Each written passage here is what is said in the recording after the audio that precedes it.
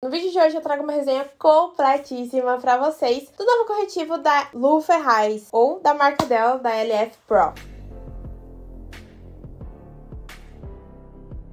Hello! Eu sou a Carol e seja muito bem-vinda a mais um vídeo do meu canal. Gente, eu nunca testei nenhum produto da Lu, é o meu primeiro item e eu estava louca atrás de corretivo. Eu já estava procurando para comprar corretivos há algum tempo, porque os meus já estavam acabando, então. Queria conhecer alguns corretivos novos aí. E como a Lu acalhou, né, de lançar logo por aí esses dias esse corretivo eu já comprei de cara. Falei, por que, que eu não vou trazer né, uma resenha pra vocês? Eu particularmente sou bem chata com corretivos, ainda mais que minha pele é seca, então tem que ser um corretivo mais leve para não marcar as minhas linhas de expressões. Ainda mais que eu sou muito alérgica, então aqui geralmente marca bastante. Então não são todos os corretivos que se dão bem na minha pele. Aliás, a minha pele é seca, gente. Ela só tem que ficar oleosa mais perto daqueles dias, sabe? E vamos começar a falar desse chuchuzinho aqui, então. Eu comprei ele na Super Gloss, eu paguei R$49,90, mas, né, já passou lançar a semana de lançamento, já tá R$44,90, né? Que eu achei um pouco de sacanagem. Ele vem 9 gramas. Assim, é um corretivão, é um baita de um corretivão.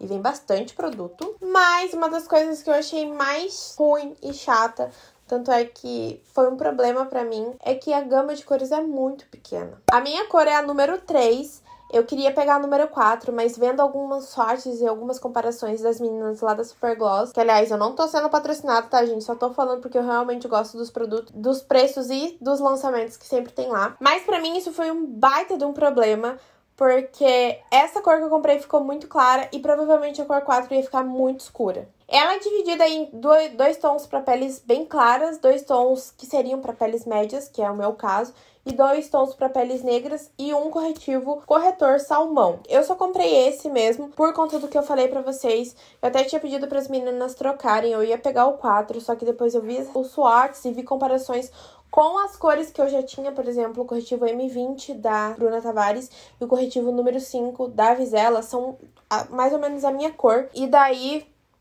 tava muito mais escuro que essas cores, então não ia nem dar para corrigir. Acabei optando por esse e esse ficou muito claro. Realmente, uma das coisas bem negativas que eu achei foi a cartela de cores. Eu já falei do Super Gloss e foi lá que eu consegui encontrar. Ele não é um produto muito acessível, então você não vai conseguir encontrar em shops, geralmente. Depende do quiosque. Eu sei que nos quiosques da Alice Salazar sempre vendem os produtos da LF Pro, mas não é em todo shopping que tem. Então você vai encontrar com mais fácil acesso nas lojas online. E esse corretivo mousse, a Lu promete que é para camuflar manchas e olheiras de forma leve e eficiente. Ela diz que a cobertura é natural e não marca linhas de expressões. É um produto vegano e cruelty free também. Sobre a embalagem, eu achei uma embalagem bem normal,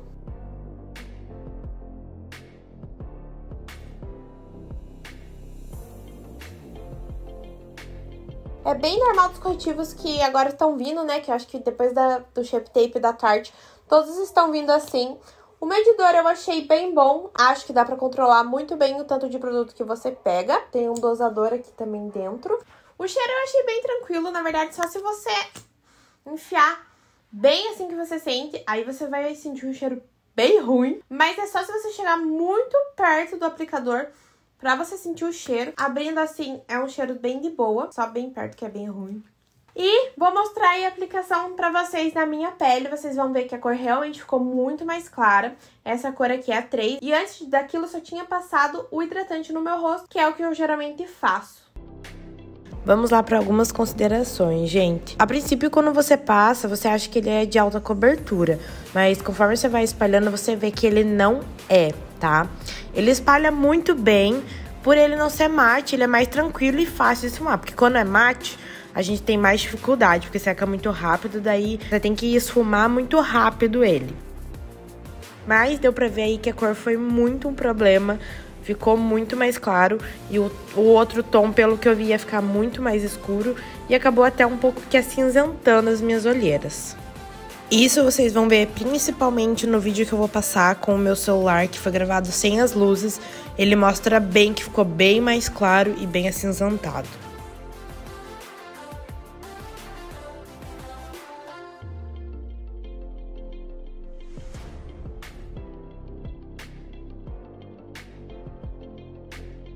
Vamos lá às considerações. Eu achei que ele constrói camada sim, só que mesmo ele construindo uma camada, ele não te entrega uma alta cobertura. Outra coisa também é que ele não oxida, ele não muda o tom, o que poderia ser um pouco bom no meu caso, né? Porque ia ficar um pouco melhor no tom da minha pele. Ele acumulou, sim, nas minhas linhas de expressões. Eu vou deixar aí vocês verem. Então, mesmo ele tendo uma textura super fluida, super leve, não é super, super fluida, mas é uma textura mais molinha, ele acumulou nas minhas linhas de expressões. Então, é um produto que você vai ter que selar. Agora eu vou mostrar aí um vídeo sobre a durabilidade. Oi, gente, tudo bem? Vim aqui. Acabei de passar o o corretivo da Lu Ferraz. Então, assim, ficou bem mais claro, mas eu já imaginava isso. Porque a outra cor ia ficar bem mais escura pelos shorts que eu vi. Então, eu preferi essa cor um pouco mais clara, porque a hora que eu passar a base ainda vai dar pra mim usar. A outra cor, que era 4, acho que ia ficar muito escura.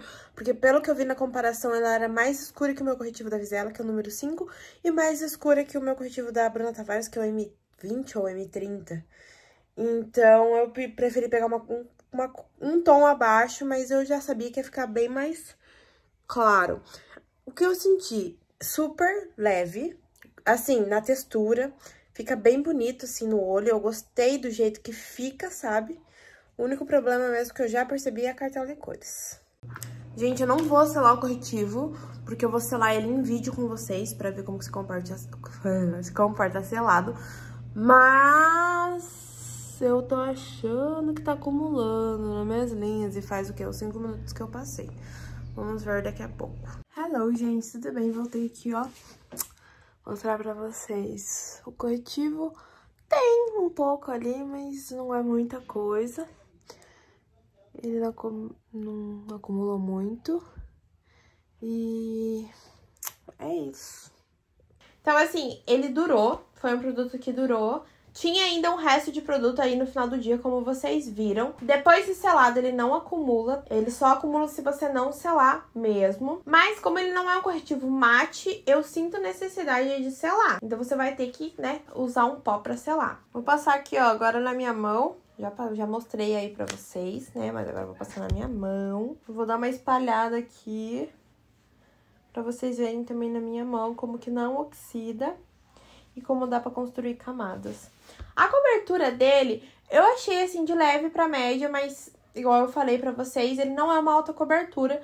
Então, se você passar numa segunda camada, você não vai ver tanta diferença. Para peles secas, eu acho que é o tipo de corretivo ideal. Claro que você vai ter que usar um pozinho ali para selar, mas ele é um corretivo bem hidratante, digamos assim.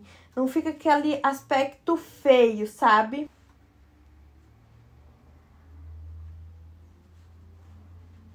Ó, vejam que não mudou tanta coisa a cobertura. E vejam como ele não é mate, ó. Dá pra ver o brilho que tem ali por trás dele. Vou esperar um pouquinho, vou mostrar pra vocês também que não oxida. Já vou passar pra vocês. Vou passar aqui, ó, pra vocês verem. Vamos ver se vai, vai focar. Acho que dá pra ver que tem um pouco de produto aqui.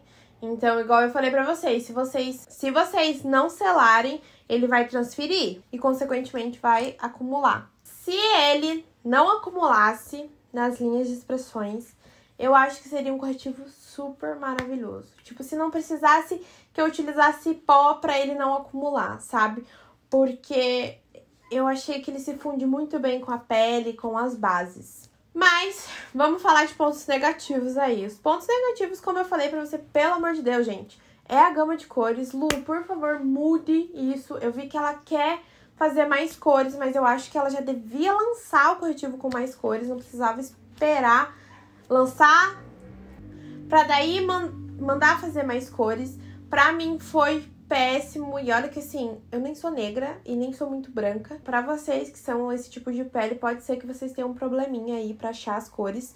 E também por acumular nas linhas de expressões, como eu falei pra vocês.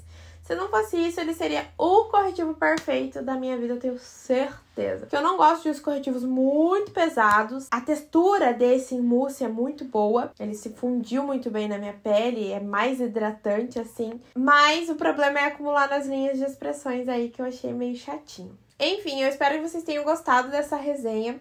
Se vocês gostam desse tipo de conteúdo, não se esqueçam de se inscrever aqui no canal e ativar o sininho. Um beijo e até o próximo vídeo.